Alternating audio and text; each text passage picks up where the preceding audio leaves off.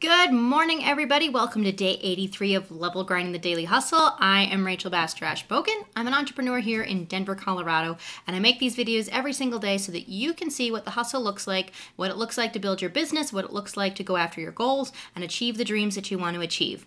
Today is a really good day. If you remember yesterday, I was talking about how tired I was, um, and so today is much better. I actually got up closer to on time. Not exactly on time, but much closer than I have in about a week. So I'm feeling really good. It is currently 9:30 and I am in the middle of breakfast, but I am all done with my morning routine and ready to jump into my wonder work block. So, let's get the day started and let's go after our dreams and goals.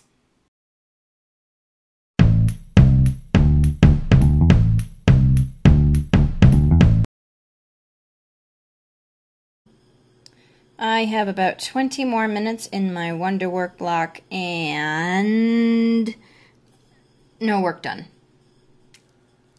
Yeah, sometimes the hardest thing to do is do the work that means something to yourself. Um, it is a challenge to get started. It's a challenge to say to yourself, you know, this work really doesn't matter. Um, and the reality is that sometimes the work that you do for yourself is the most important work that you'll do. It's the work that will pay into the future, it's the work that will seed other projects, it will give you other tools, other learning. And so, yeah, um, part of the reason why I'm a little bit late is because I was finishing breakfast. I've also had some laundry on, but I'm gonna take the next 20 minutes and do something because I have to do something. And right now I'm staring at a blank page, and that's the worst nobody likes a blank page because a blank page is hard work. It's much easier to work with something once you have it on paper, and yeah, sometimes staring at a blank page is the worst. All right, I need to stop, put this project away, clean up leftovers of my very now late breakfast cleanup. So the good news is that I made a start and I have progress. I have something going on. The challenge is that I also kind of sort of worked through my break, which is not a problem. It's a good use for a break, except now I need to hang up some wet laundry and I really should be getting to work, but I have to get this off of my couch first. Okay, my first actual work block of the day, block one, is wonder work right now. So block two starts at 11 it is only 15 past 11, which is fantastic. So what do I actually need to get on to do today?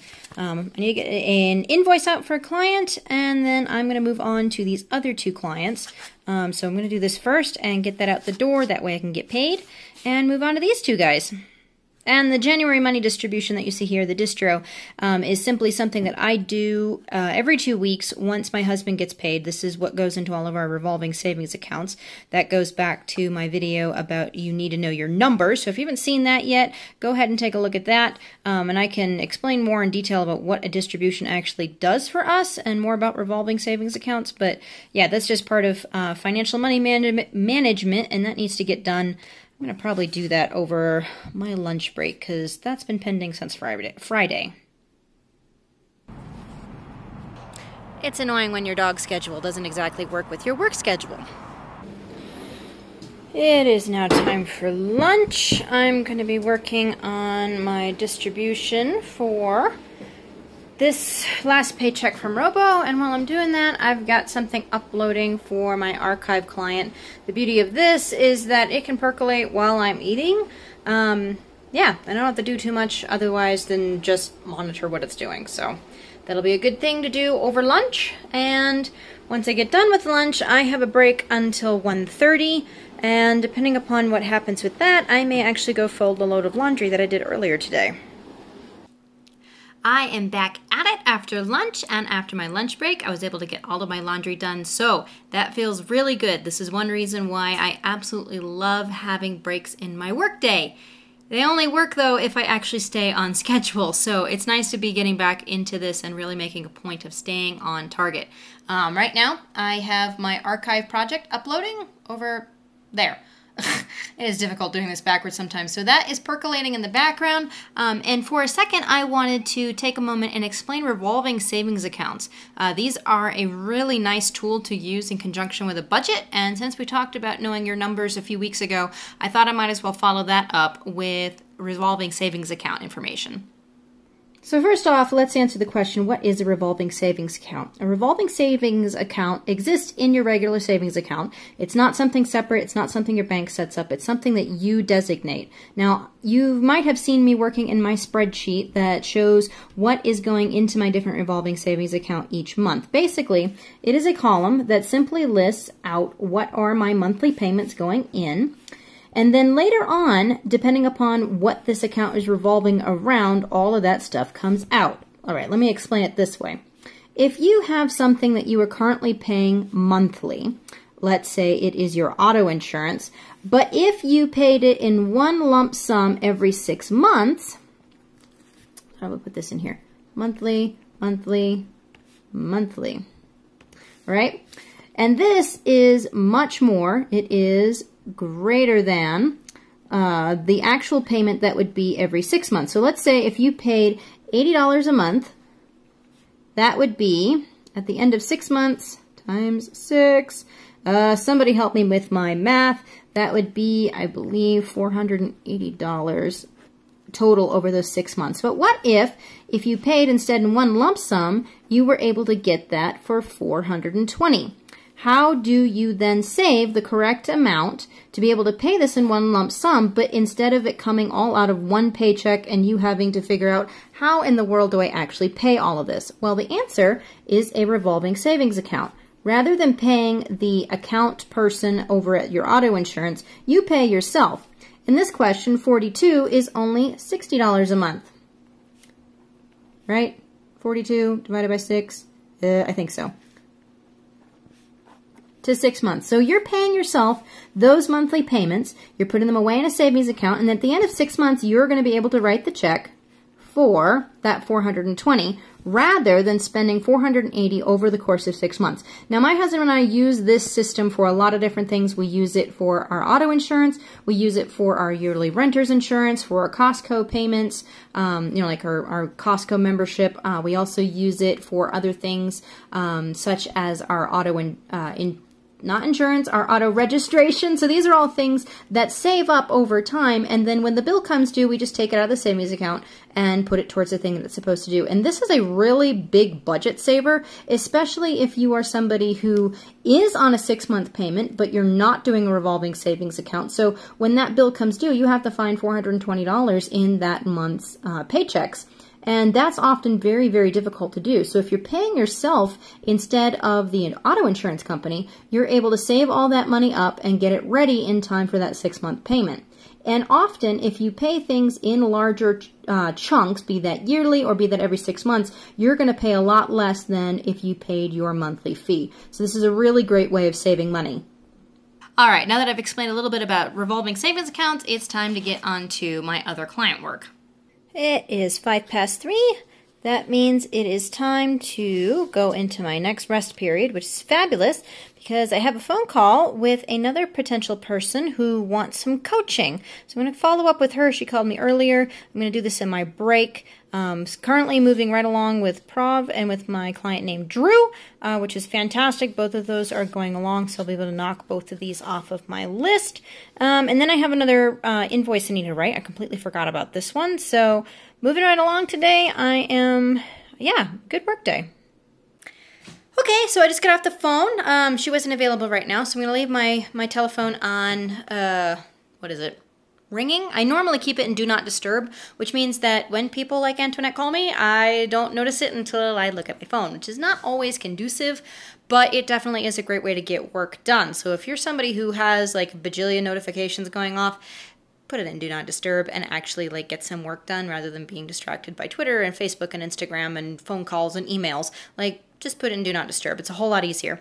But that also means that I've got about 20 minutes to do whatever I want and breathe, which that is one of the things that I love about having rest breaks, but because I rarely take them, um, I kind of don't know what to do with this one. oh, yeah, I forgot. I need to make bread, so I'm going to use this mix from Bob's Red Mill. I don't know if I've made this before, um, but Robo and I are planning on having grilled cheese sandwiches and tomato soup later on this week. And rather than buy bread, it was one of those things where it's like, I've got a mix hanging around in my flour stash, so I'm going to give this a whirl. We'll see how it comes out. um, yeah, this is how I'm going to spend my break. I need to get it started because it needs to rise. And so, yeah, I haven't made bread in a really long time. I miss making bread. Okay, so bread baking's taking a little bit longer than it should have. Uh, I killed my yeast the first time, so I had to kind of start over with proofing my yeast, but that's okay because I know how to fix that problem. So now it has finally bubbled up for enough and I'm about to mix up the rest of this dough, move forward, get back to work. Finally, bread is rising. And now that it is, oh good grief, well past my break, let's get back to work. Alrighty, time to close out tasks. I am just about done for the day. So right now I'm on my way upstairs to go chat with my neighbor. She has a tech problem and this is the cool thing about being friends and also being able to help people. Sometimes you get to answer questions in your own, in your own building. So I'm back from trying to help out my neighbor. And regrettably, I couldn't do much. We spent probably like an hour going around and around. I tried every single media trick that I know to try and solve the problem but it's not working. So she's going to keep hunting and keep working. She might have to do redo some work. So she's going to let me know. I offered to do a couple of things for her to help her with that. She'll let me know. It's one of those things like when you're so frustrated you can't think straight, and so she's just going to put it away for a while and take a break and go from there. So in the meantime, Robo finished out my bread, and look at this. This this looks really good, and you can see like from the from the this was a big big slice, and now it's mostly gone. So yeah, Bob's Red Mill takes the cake, takes the bread. It is 10 o'clock at night. I'm taking the dog out for his evening walk. You can see him causing me to jiggle my phone all over the place. Uh, today has been a really good day hustling. I'm kind of sorry that I couldn't help my neighbor with her tech problem, so it's kind of frustrating. Um, but for the other things that I was doing today, sending out invoices, tracking down projects, um, actually cool things, lining up some for the beginning of spring, early summer. Um, one of my clients is already saying, hey, I know that I'm going to have these projects coming. I want to get your help on them. Uh, he just needs to nail down dates. So it's exciting to see some stuff already shaping up in the future. Um, and I got some other people that I need to talk to, people that I started conversations with back in December, and I need to finish those out and kind of just continuing this push forward and making sure that I am doing everything that I possibly can to move life forward.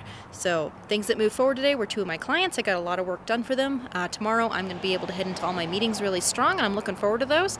So, that's all fantastic. And yeah. I think the theme today was just moving, like forward momentum, keeping things going, keeping the momentum. And as you are trying to move your life forward, maintaining momentum is always the challenge. It's really easy to feel like you get derailed after a day, especially a day that doesn't go right. And the biggest thing is to remember that you can always start over tomorrow.